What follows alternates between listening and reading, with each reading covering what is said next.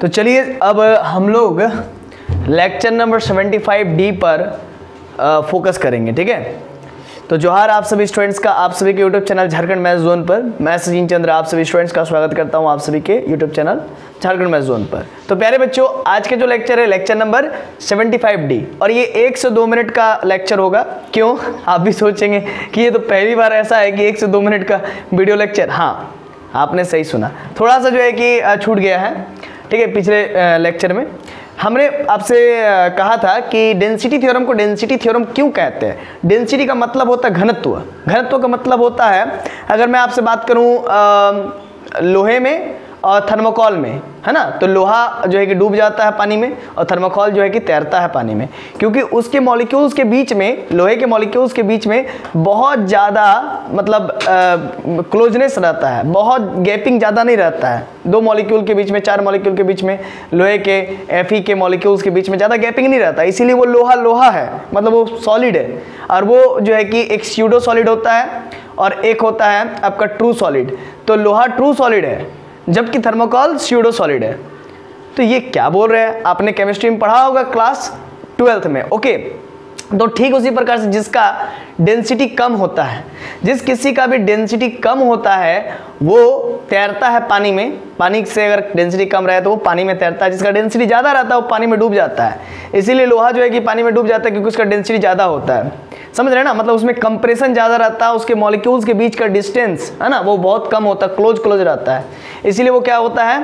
पानी में तैरता नहीं है लोहा, जबकि थर्मोकॉल तैरता है क्योंकि उसके बीच में गैपिंग थर्मोकॉल के मॉलिक्यूल्स के बीच में गैपिंग बहुत ज़्यादा होता है। आप काटिएगा तो उसके बीच में गैपिंग मिलेगा आपको। तो सर, ये आप केमिस्ट्री पढ़ा रहे हैं? मैथमेटिक्स पढ़ाते पढ़ते?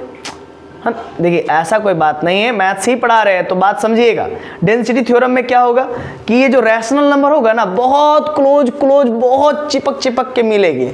बहुत ज़्यादा मिलेंगे। बहुत कम जगह में, बहुत कम स्पेस में, बहुत ज़्यादा मात्रा में रैशनल मिलेंगे। इसीलिए इसको डेंसिटी थ्योरम कहते हैं। कैसे, सर? तो समझिए। जैसे मैंने एक्स और वाई लिया था, दो रियल नंबर दो रियल नंबर के बीच में एक R small R rational number मिला। फिर वो जो स्मॉल आर और एक्स था, उसके बीच में आर रैशनल है तो चूँकि वो रियल भी होगा तो फिर वो रियल हुआ और एक्स रियल है तो उसके बीच में एक रैशनल मिला आर वन और फिर आर वन जो कि रियल है प्लस वो रैशनल भी है, और रैशनल है, और रियल भी है तो आर वन रियल है, और फिर एक्स मेरा रियल है तो उसके बीच में फिर एक नया रैशनल मिला।